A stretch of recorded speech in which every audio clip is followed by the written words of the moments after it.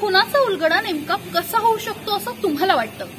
म्हणजे बघा हं एखाद्यावरती संशय असेल तर होऊ शकतो पुरावा असेल तर होऊ शकतो पण पुण्यामध्ये झालाय एक असा उलगडा तो चक्क ओल्या कपड्यावरून.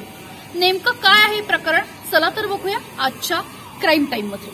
ही घटना आहे पिंपरी चिंचवड जवळच्या साखरे वस्तीमध्ये. या वस्तीमध्ये अडोतीस वर्षाच्या असणाऱ्या संतोष माने याचा खून करण्यात आला. पोलिसांचा तपास सुरू झाला. घरच्यांचं म्हणणं होतं की या भागामध्ये कोणीच बाहेरचं आलं नाही आणि साहजिकच आजूबाजूच्या लोकांवरती संशय होता.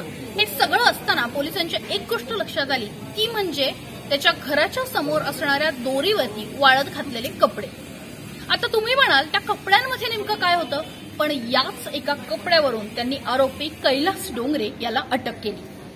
शेजारमध्ये राहणारा एक तेवीस वर्षीय युवकांचं चड्डी जे होता ते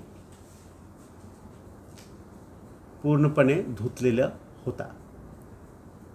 त्याने विचारल्यानंतर त्याने सांगितले मला वॉमिटिंग झाली होती त्यामुळे धुतले आम्ही.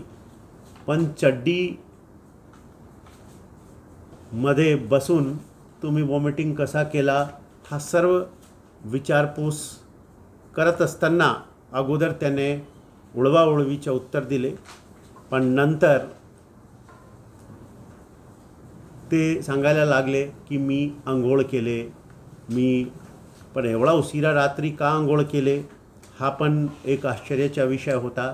त्यामुळे नंतर सतत विचारपूस होत राहिली आणि शेवटी तो तुटला आणि त्याने सर्व गोष्टी सांगितला की मी यांच्याशी नेहमी भांडायचो आणि त्यामुळे त्यांचं असं म्हणतात गुन्हेगार कितीही हुशार असला तरी पोलिसांपेक्षा हुशार कधीच नसतो. आणि तसंच आता या उदाहरणात सुद्धा बघायला मिळालं. या सगळ्याबाबत तुम्हाला काय वाटतंय आम्हाला कमेंट बॉक्समध्ये नक्कीच सांगा. हा व्हिडिओ आवडला असेल आमचं ऍप डाउनलोड करा. ट्विटर आणि इंस्टाग्रामवरती आम्हाला फॉलो करायला विसरू नका.